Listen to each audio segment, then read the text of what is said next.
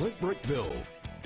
One of the most consistent teams in our area are the Childress Bobcats. After another impressive playoff push, they're poised for another one this year. They enter the season as the eighth-ranked team in the state for 3A. They will rely heavily on an always solid defense and many returning starters on both sides of the ball, including a great starting quarterback in Luke Latimer.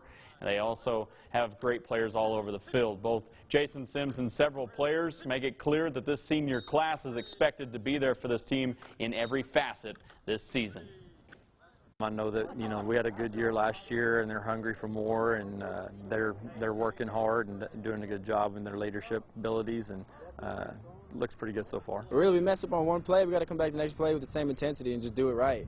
They all think we do it wrong from one play, but if I miss a field goal, it's whatever. I'm coming back and making the next five, so it don't matter. Trying to get us to the next step is a, I guess you could say a big accomplishment to us. Like we're trying to do the best we can to stay together and just be a true team.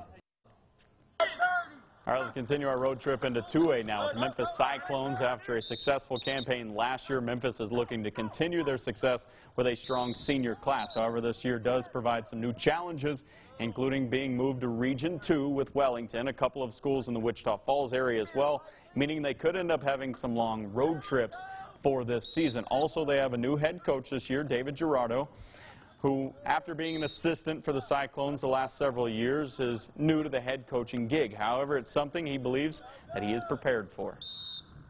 I'm taking over. Obviously, it's a it's a new role for me. I've been here for this going on my fifth year, so uh, you know we're just trying to build on what we uh, we've been doing in the past. You know we've had some great some good years, and uh, we're just trying to build on and pick up where we left off and just uh, make this year mem memorable for the seniors.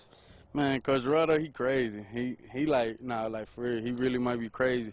But you know, he a good coach. You know, he he hard on us, but that's what we've been needing a lot of di uh, discipline and hard work. So we'll be all right.